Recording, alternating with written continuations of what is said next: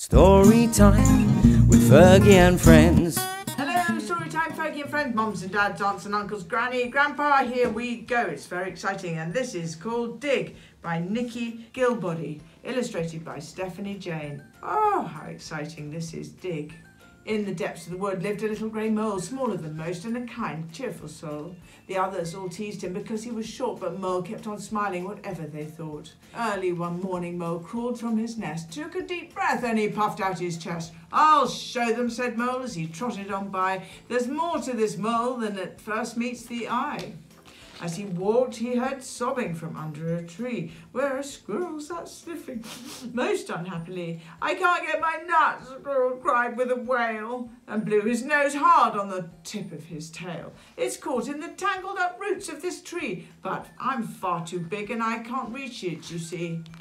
Oh, said the mole, that's no problem for me. I'm so little I'm sure to get by easily. He struggled and squirmed his way through on all fours, then popped out again with the nuts in his paws. Yay! My nut, cried Squirrel. Oh, Thanks, he began. I'd like to repay you one day if I can. You're welcome, said Mole. It's no problem at all. I suppose we're both lucky that I'm just so small.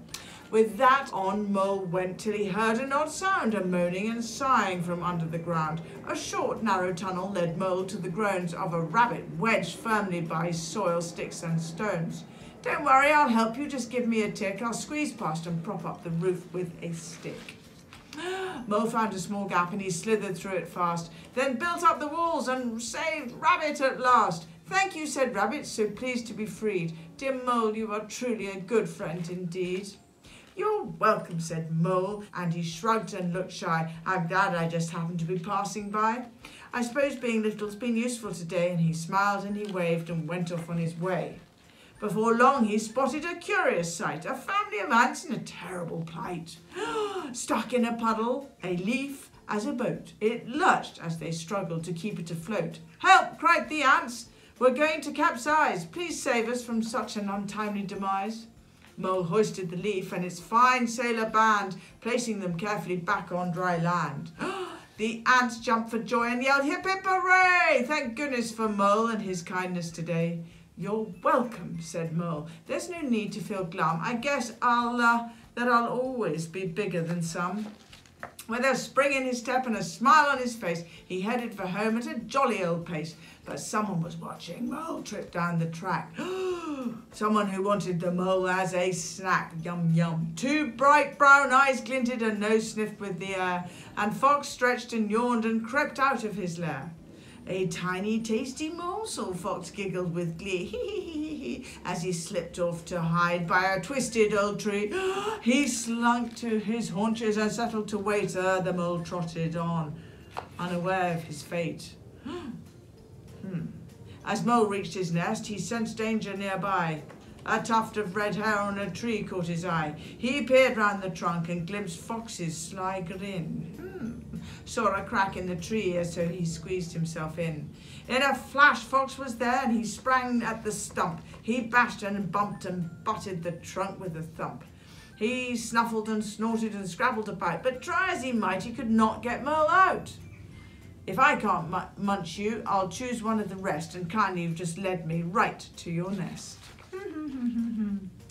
Desperate to stop him, Mole leapt from the tree. Back off, he cried, you just leave my friends be. Puffed, full of courage, the voice loud and clear, he boomed an alarm for the whole world to hear.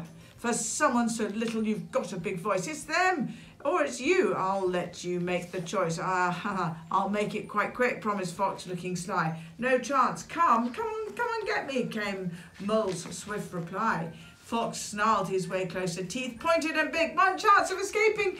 Now, now quickly, Mole, dig. As quick as the wind, Mole dived into the earth, scooping and digging for all that he was worth. Like a shot, Fox was there, and he pounced on the mound. He followed the mole hole right into the ground. But Rabbit had heard and lined friends up to go. They stamped the soft earth, pounding hard to and fro. Ha! Fox paused in the tunnel and looked up in dread as the roof cracked and split and caved in on his head. Poor Foxy. That instant the soil moved, seemed almost alive, as hundreds and hundreds of ants had arrived. They poured over Fox and they nipped where it hurt, till he wriggled and writhed his way out of the dirt. Frustrated and itchy, Fox growled and drew back, then gasped with alarm. He was under attack. An army of squirrels lined up overhead. They pelted him down acorns till Fox turned and fled. Mole thanked his new friends as Fox sped down the trail, and everyone gathered to hear of his tale. It's been an adventure, that much I can say, but I think I've had quite enough fun for just one day. And so little Mole told his story until the forest around him grew peaceful and still. It's okay to be small. In fact, sometimes it's best. And with that, he curled up and dozed off in his nest. Hmm. What a lovely book. Well done, Nicky. With Fergie and friends, with Fergie and friends.